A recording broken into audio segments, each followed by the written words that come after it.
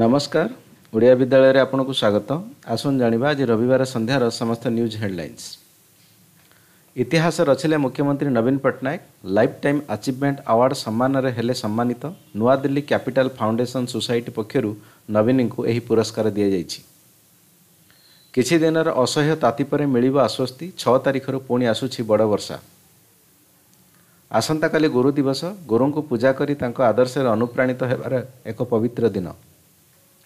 ଭୁବନେଶ୍ୱର ପୁରୀରେ ବାୟୁସେନାର ସୂର୍ଯ୍ୟକିରଣ ଏରୋବେଟିକ୍ସ ଟିମ୍ ଦେଖାଇବେ କୌଶଳ ହେବ ଏୟାର ଶୋ।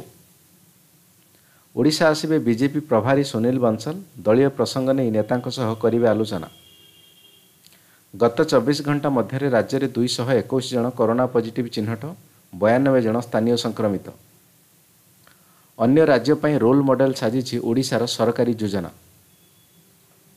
ଜଗନ୍ନାଥ ସଂସ୍କୃତ ମହାବିଦ୍ୟାଳୟର ନୂତନ କୁଳପତି ଭାବରେ ନିଯୁକ୍ତି ହେଲେ ପ୍ରଫେସର ରବୀନ୍ଦ୍ର କୁମାର ପଣ୍ଡା। ଚଳିତ ମାସ ଆଠ ତାରିଖରେ ଇଣ୍ଡିଆ ଗେଟ୍ରେ ସ୍ଥାପିତ ହେବ ନେତାଜୀ ସୁଭାଷ ଚନ୍ଦ୍ର ବୋଷଙ୍କ ପ୍ରତିମୂର୍ତ୍ତି। ମୁଁ ଇଡିକୁ ଭୟ କରିନାହିଁ ପଞ୍ଚାବନ ଘଣ୍ଟା କାହିଁକି ପାଞ୍ଚ ବର୍ଷ ବି କରିପାରନ୍ତି ଜେରା ରାହୁଲ ଗାନ୍ଧୀ। ଯେବେଠାରୁ ବିଜେପି କ୍ଷମତାକୁ ଆସିଛି ଦରଦାମ ବେଲଗାମ ହୋଇଛି ରାହୁଲ ଗାନ୍ଧୀ। ତୁଟୁନି କଂଗ୍ରେସ ଭିତରର କଳି ମୋଦି ସରକାରଙ୍କୁ ଖୋଲାଖୋଲି ଭାବେ ପ୍ରଶଂସା କଲେ ରାଜ ବବ୍ବର ବିଜେପି ବିରୁଦ୍ଧରେ ଏକଜୁଟ ହେବେ ସମସ୍ତ ବିରୋଧୀ ଦଳ ନୀତିଶ କୁମାର। ପୂର୍ବ ନାଗାଲାଣ୍ଡକୁ ଏକ ଅଲଗା ରାଜ୍ୟ ଗଠନ ପାଇଁ କୋଡ଼ିଏ ବିଧାୟକ ଏକଜୁଟ ନାଗାଲାଣ୍ଡ।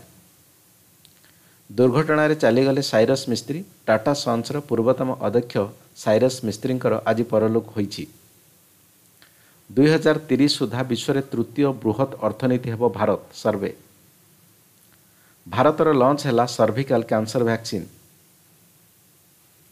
instant loan ମାମଲାରେ ଇଡିର କାର୍ଯ୍ୟାନୁଷ୍ଠାନ ପେଟିଏମ୍ ରଜରପେ କ୍ୟାସ୍ ଫ୍ରି ଉପରେ ରେଡ୍ ଭାରତ ଆମର ପ୍ରକୃତ ବନ୍ଧୁ ବିପଦ ବେଳରେ ଆମ ପାଖରେ ଛିଡ଼ା ହୋଇଛି ବାଂଲାଦେଶ ପ୍ରଧାନମନ୍ତ୍ରୀ ଶେଖ୍ ହସିନା ଚୀନକୁ ମାତ ଦେବା ପାଇଁ ବଡ଼ ପ୍ରସ୍ତୁତି ସହଯୋଗୀ ଦେଶଗୁଡ଼ିକୁ ଅଧିକ ଯୁଦ୍ଧାସ୍ତ୍ର ବିକିବ ଆମେରିକା ଆଜି ଭାରତ ଆଉ ପାକିସ୍ତାନ ମ୍ୟାଚ୍